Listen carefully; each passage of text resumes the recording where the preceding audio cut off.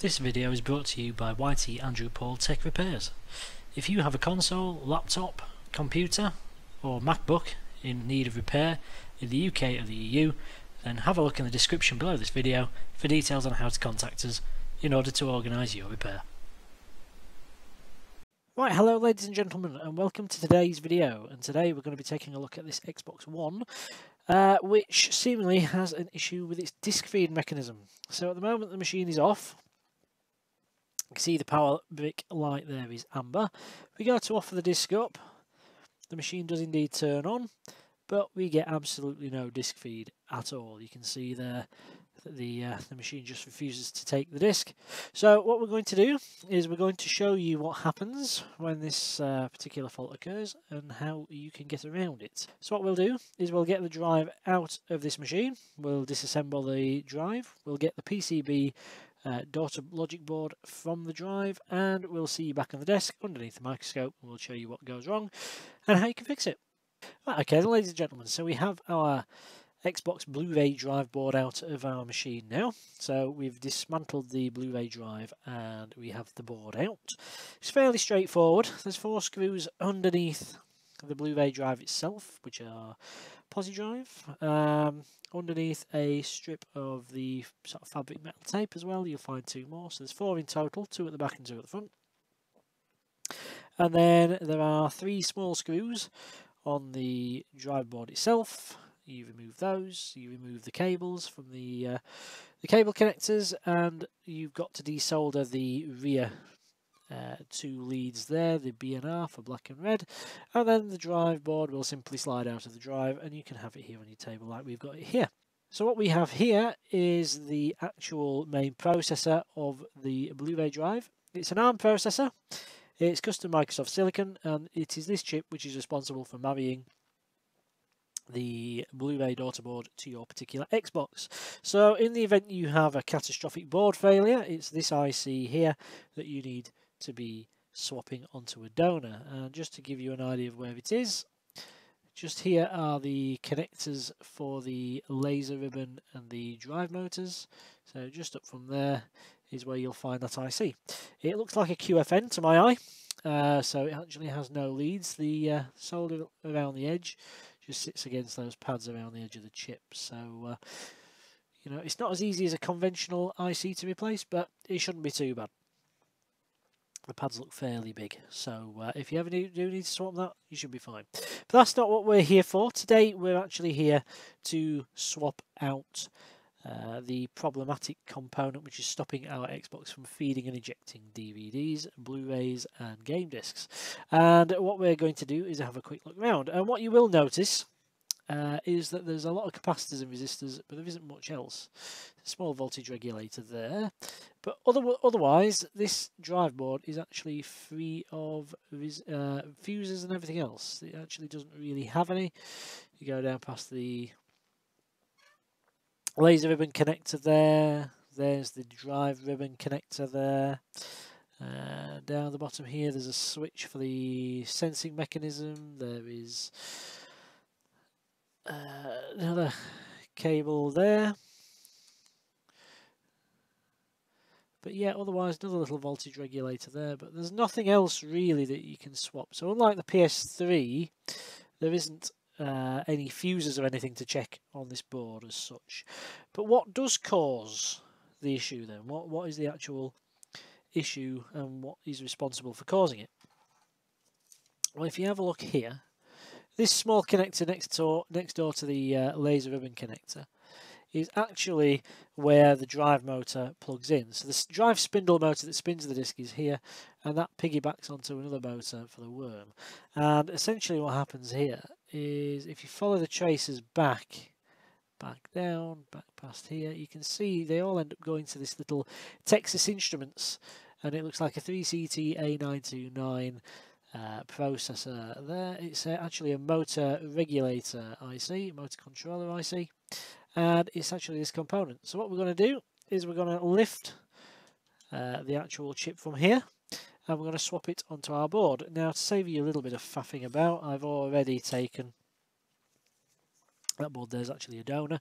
I've already taken the motor controller off of our original board, which is here. So all we actually need to do now is replace our uh, motor controller IC, which we've already removed here, with the one from this donor board, which is just here.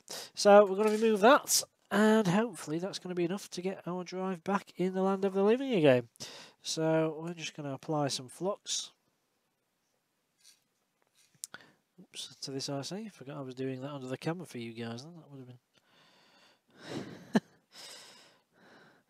wouldn't it be easy to drag this towards me and do it there? Why am I doing it over there? Then I remember it. Oh yeah, I'm filming it. So, so it's been a long day. It's been a long day, but uh, we'll get there. So what I'm going to do is I'm just going to secure this board down to the desk with some tape. That just stops it moving while we have it away from us here. So, for those of you familiar with the PS4, of course, the PS4 does have a very similar IC. It's actually a Rohm branded IC in the PS4. And it's a BDV7763 controller. Looks very similar to this one in the older sort of fat PS4. Uh, On 1200s and newer, it's actually a QFN style. So we're just going to put some fume extraction on. We've got some flux on our IC. So we're going to get the hot air.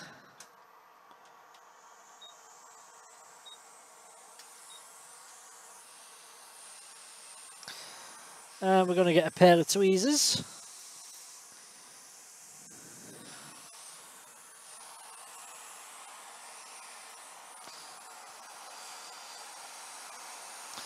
Trying to work out where my kink tweezers have gone. I can't actually see them kicking around the desk, which is odd considering I know I've had them fairly recently.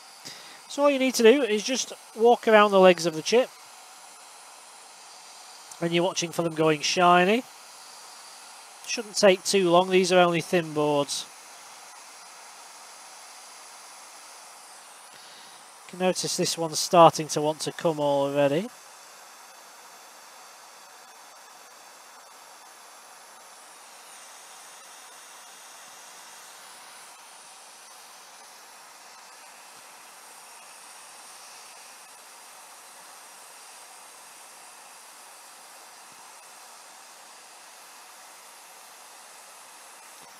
Proving to be a bit of a nightmare without the proper tweezers. I don't recommend you use straight uh, straight tweezers for lifting ICs like that. Oh, I've just found them now. Ideally, you want to be using these sort of kinked, really fine needle nose ones. And the reason for that is because you can actually get the kink underneath the leg and just gradually lift it and get a hold of the other side of the leg here so you can actually get a proper firm hold of it and just lift it away which of course we were struggling a little bit there with those straight ones. So I'm going to show you underneath here now. Just going to get rid of the donor. Now then what we're going to do is we're going to just check to make sure that all of our legs are straight and that we have no bridging going on so that's next up. So let's have a nice look here, see what we have. So we're going for the top row first. Nice and straight, no bridges. Bottom row. Nice and straight. But we do have a bridge on this end. So what we have here is some really, really fine solder braid. This is Soder-Wick Chemtronics, size number one.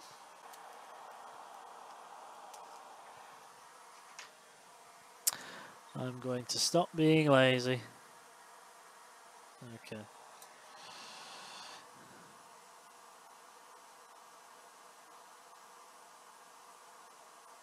There we go. So that's the bridge removed.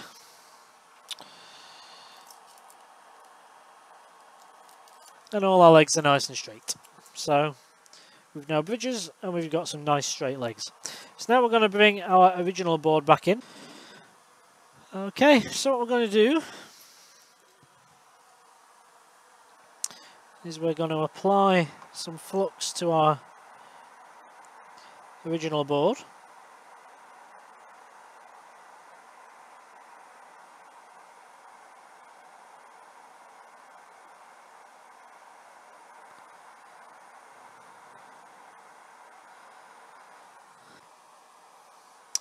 We're just going to roughly offer this IC up in place where it needs to go.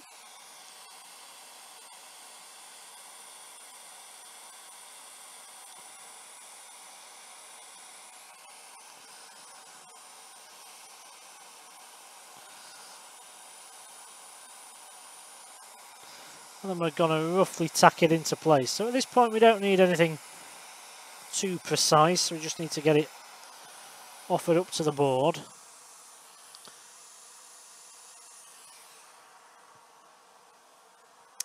We can work on adjusting the position in a sec. Just want to make sure I get this in focus and in view for you.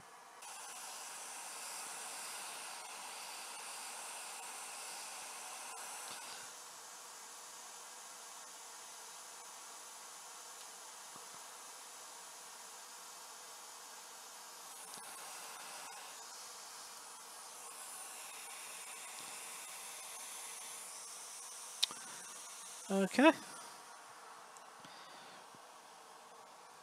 These boards are really, really thin, so they don't take any sort of time to flow the joints. And as you can see there now,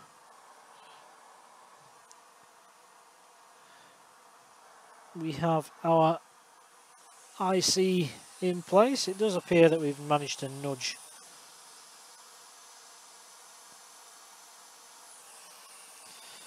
a small cap. Okay, so we just managed to nudge this little cap here. I'm not sure if we did it when we lifted the old IC or not, to be honest, but uh, just put that back in the right position. And everything else there now, as you can see, is looking nice and straight. So if in doubt, what you can do is give these pins the nudge test. Now there's a lot of pins, so what you can do, if you hold the board stiff with the edge of a pair of tweezers, go across each pin, look for movement. As you can see, those all stay put.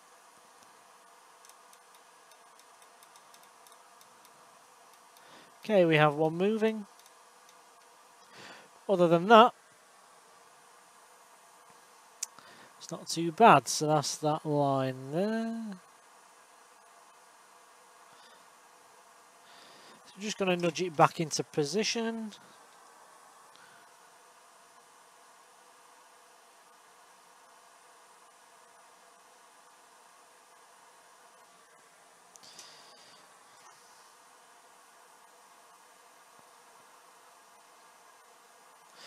Pin's nicely soldered there now. So that's it, ladies and gentlemen. We're done. So we'll put this uh, drive board back in our Xbox, fire it up, let's see what it does. Right, okay, ladies and gentlemen, so we have the Xbox partially reassembled now, and of course, this is after we've replaced our Texas Instruments motor controller IC on our Blu-ray drive board. And remember before, the machine wouldn't actually take any discs in. Well, we have the same Thief disc here, and let's see what happens now. So the machine's powered on. You can see that. It's now fed the disk. Just make sure that it's actually reading. If we go up there, we can indeed see Thief is installing. If we go into games and apps on the machine, go down to queue, we can see there that Thief is installing.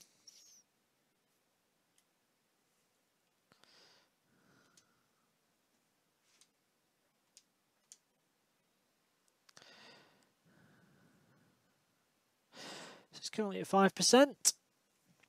And there we go.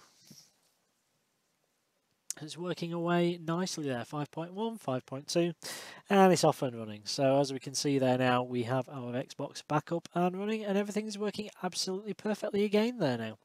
So that was a nice easy one in the end, uh, and it's uh, it's a problem that thankfully isn't all that common, to be honest with you. Um, but if you do get it, then that is what causes it. There's no fuses of anything on the board in particular that you need to check. It's just a case of replacing that motor controller IC. Uh, and what we'll do is we'll put a link into the description with the part number of that TI chip and hopefully we can find somewhere to buy them. Uh, if not, then obviously donor boards, uh, you know, bad Blu-ray drives from Other Xboxes will have that chip in that you can take it from if you need to. That's where we got ours. Um, but yeah, I mean, ultimately, it would be nice to find a, a part supplier for them. So if I can, then I'll buy some and I'll stock them, and you can come to me for them if you like. Uh, so hopefully, we'll be able to find something. Uh, to find a, a, find a source for them. But if not, like I say, old drives, broken drives are your best bet for them. So as we can see there, everything's now working lovely. We're on 9.4%, 9.5% and climbing. Our Xbox is back working again. And uh, ultimately, this one we can add to the list of uh, finished consoles and it can go back to its owner. Happy days. So like I say, ladies and gentlemen, I do offer my services out. If you're in the UK or the EU and you would like a repair, then you can hit me up at ytandrewpaul at outlook.com. That email address is in the description of the video and you can look me up there. And like I say, if you need a quote for a repair, or indeed if you need any console components for PS4, Xbox One, or anything, MacBooks, stuff like that, then again, feel free to drop me a email to that address, and I'll see what I can do for you. Uh, we do ship parts and components worldwide, so if you're in the US, then like I say, I may be, be able to uh, source you some, port, some parts uh, for a very reasonable cost. Um, like I say, if you've got a console or a MacBook in need of repair in the UK or the EU, then feel free to drop me a message and I'm sure we can uh, arrange you a repair for a very reasonable cost too. And uh, that's it, ladies and gentlemen. So if you have any questions or comments on the video, feel free to pop them below. Or you can hit me up on Twitter. My Twitter handle is at YTAndrewPaul. And uh, indeed, there, my DM box is open to everybody. So if you've any questions or you'd like to send me a message in private, then you can do so on there. So uh, if you enjoyed it, and I hope you have, and you found this useful, then please remember to comment, rate, and subscribe to the channel if you haven't already. We've over 80 videos on there now, and uh, most of them are repairing things like this on games consoles and MacBooks and various other bits and pieces of electronics. Uh, so, you know, if you like this sort of video and you like watching us tinker with this sort of thing, then I promise you you might like a few other bits and pieces we've got on there and a few other bits and pieces we've got coming up as well, because I promise you there'll be lots more to come uh, from what we've got on there already. So as I say, ladies and gentlemen, if you've liked this video and you found it useful, please remember to comment, rate and subscribe if you haven't already. Uh, and from me, from the Xbox and its Blu-ray drive, which is now happy and working again, uh, it's a very good day and uh, hopefully life treats you well. Until the next video, uh, and until the next video, it's from me, it's bye-bye for now. Many thanks for watching then ladies and gentlemen, hopefully you've enjoyed this video. If you have, then why not check out these recommendations below. Also, please remember to comment, rate and of course subscribe to the channel if you found this useful. We've plenty more content on there and there's lots more to come.